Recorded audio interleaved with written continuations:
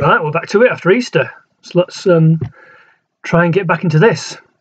Right, so we're going to look at evolution today. And evolution is just a change over time. Okay, and I thought I'd just go through something that's changed over time that's been, you know, big in my life. Um, and that's the um, games controller. And this is my first games controller. Okay, it's um, so we're we're back in like the 1980s, early 1980s, and this just had um, all you could do was just like twist it, and you could move things up and down the side of the screen. So we played games like this called Pong, where um, each player's got a bat either side of the the screen. So there's one here and one here, and you move up and down to push the the ball back and forward over the net.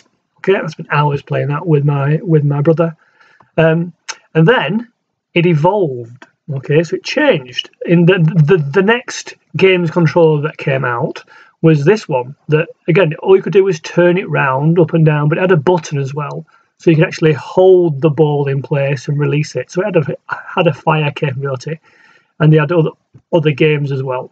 So it wasn't as if the previous controller changed itself. That was you know recycled, taken to the um, charity shop.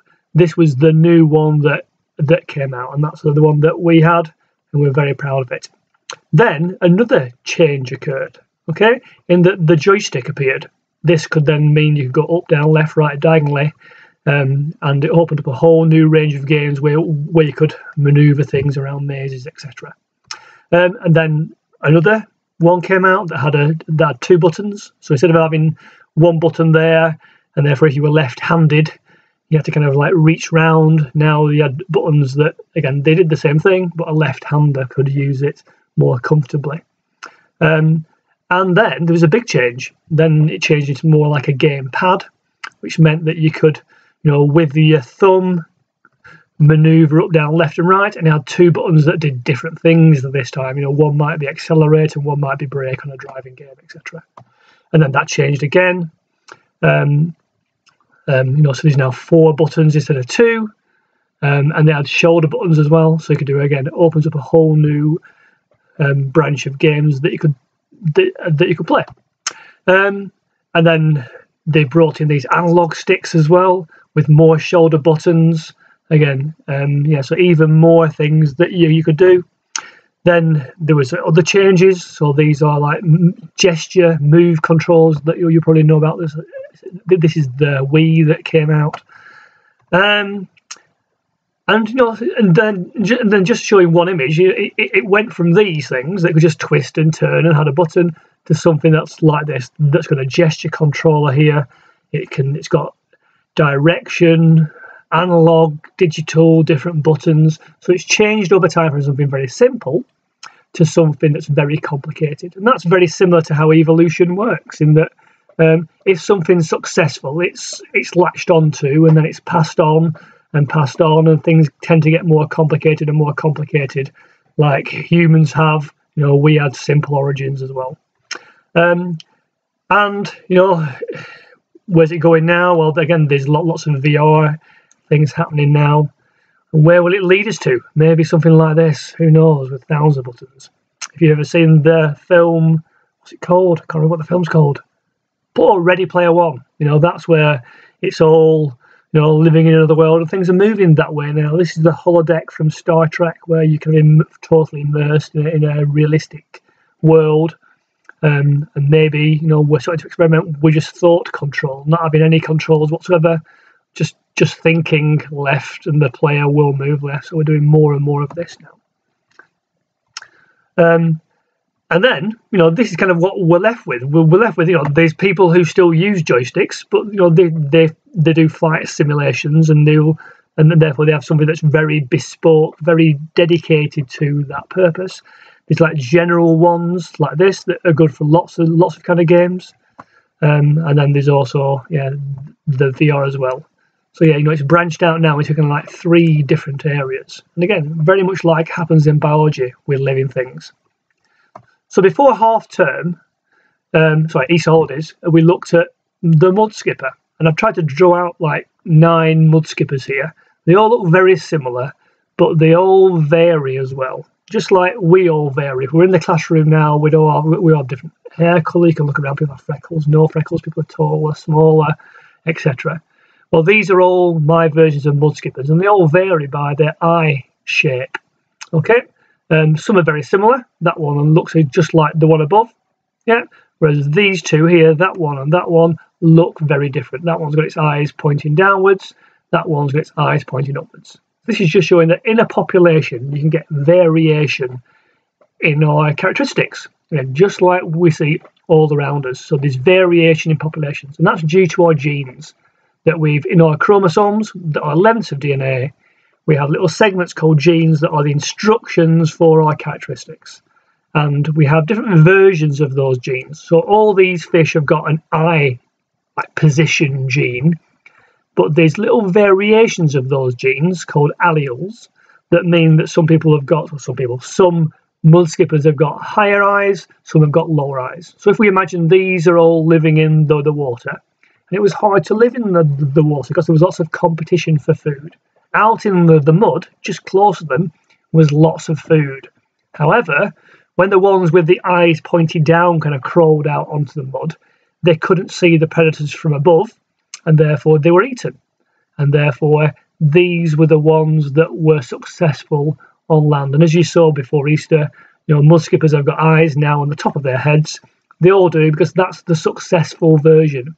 If you look at the mud skippers' close relatives, they've got eyes on the side of their heads because they still live in water and it's better to have them at the side of the head in water because you can see more around you. You aren't missing out what's below.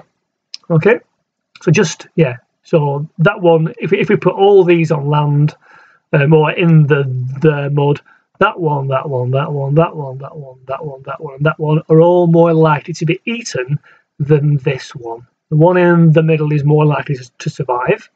It's therefore more likely to breed, and it's more likely to pass on its genes when, when it breeds, and therefore its offspring are more likely to have their eyes on the top of its head rather than at the side of its head. And therefore, over time, the population of the mud skippers have changed from eyes on the side to eyes on the top of their head. And just to kind of show that in a, in a, in a like a, just a blob kind of form, here's here's a picture. So in this blue circle, imagine this is like a blue habitat, and these little ovals are organisms. And as you can see, I've got one, two, three, 4, 5, 6, 7, 8, 9, 10, 11, 12. 12 visible organisms. Let me just come out of my PowerPoint um, and go to that slide. Where was it? Here? Oh, no, it's here. Uh, oops, that's it. Um, let me just zoom in slightly.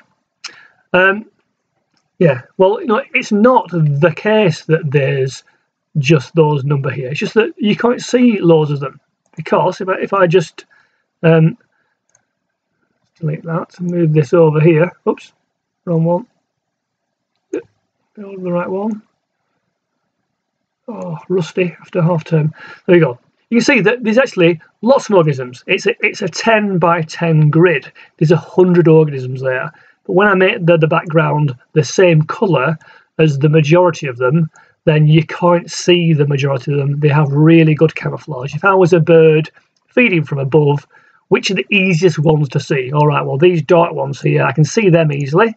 Those three I can see really easily. Oh, and I can see that light one really easily as well. That one's got, this one here's got really good camouflage. Those are you know, those are, I can, again, I can, I can see them. Yeah, that one there, can't see it, and that one there. So if I was a hungry bird, and I'm gonna, you know, I want to do things quickly because then I can go, go back and feed my chicks. I'm going to feed on the ones that I can see. Okay. If though the habitat was a different colour, maybe you know due to global warming, a desert spreads and things like that. So let's make it now um, a darker blue background. Right. Well, now you can see the ones that I could see before, I can no longer see. They're now perfectly camouflaged. So if I was a hungry bird, I've got there's loads of food I can see now, so I'm going to eat, eat, eat, eat, eat, eat, eat, eat, eat. The ones that I can't see, those that are there, there, and there, they're going to be the successful ones, and therefore over time the population would change to a darker blue color because that's the better version it is. What's misunderstood with evolution often is people think that all right, this one here, let me just highlight it. That one there, it's got poor camouflage. It's really easily seen. And therefore people think, oh, well, it, it can evolve to be darker. Well, it cannot evolve to be darker. This will live or die. And then, quite frankly, it's likely to die because it's got poor camouflage.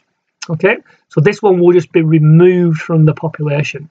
This one here, that's got really good camouflage, is more likely to survive, more likely to breed, more likely to pass on its genes for being this darker blue colour, and therefore its offspring are more also more likely to be darker blue, and therefore the population over time will more likely be be blue. Okay, and it's just chance because if this background wasn't dark blue, maybe it was light blue instead. well, then again, being dark blue is the worst colour to be. Okay, and therefore they're going to be eaten more often, and the lighter ones are going to be the ones that are that are going to survive. So th this is why organisms that breed sexually, where there's a female and a male, have an advantage because when they breed, the offspring show variation. If you've got brothers or sisters, they won't be the same as you. Even if you have, you know, even if you are, you know, you know, the same age. So if you had a non-identical twin, you know, the word non-identical means that yeah, the offspring from sexual reproduction show variation, unless you're an identical twin version. Okay, so yeah, just by look, it depends if you are well adapted or not well adapted to the environment. Again, and now the very light one that was there, that's got the best camouflage. It will survive. It will therefore breed and pass on its genes for being light. And therefore, over time, this population are going to be more and more become light. Um, some organisms try and get around this problem by being dark at certain times of the year and being light at certain times of the year as well. So these things like um, snowshoe hares that you know they get a white coat for the winter, and they have a like a browny dappled coat for the summer. Okay. Um, other things can't change their coat color, and therefore, yeah, they will hibernate um, during the snow time instead. Okay, so that's just a quick overview of what evolution is. You know, it's a bit controversial is evolution. Some people don't believe in evolution, but the people who don't believe it are are thinking that me as an individual, I can change, and I can't change. Yeah, I've, I've I'm I am genetically me. I'll either be successful or not successful. Okay, so yeah, instead of talking about saying you know there's variation um, in a population, they will say um, you know, so evolution says that um, organisms change to suit their um, their environment, and that's not the case. You know, populations change over time, but individuals either live or just die.